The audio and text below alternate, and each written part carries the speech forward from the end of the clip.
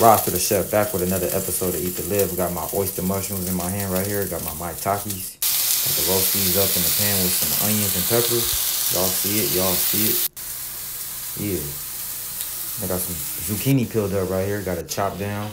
Get that in the pan, saute that up. Add my dandelion greens. Yeah, I said dandelion greens. One of the most healthiest greens on the planet. Got my mushrooms right here, looking luxurious. Grab my dandelion, throw it in the pan, saute that up, sauce that up. Yeah, make sure you season that. Add some bean sprouts. Yeah. Now veggies is finished to the side. Got my cilantro, chopped that. Got my chickpea thin spaghetti. I'm gonna use that for my ramen.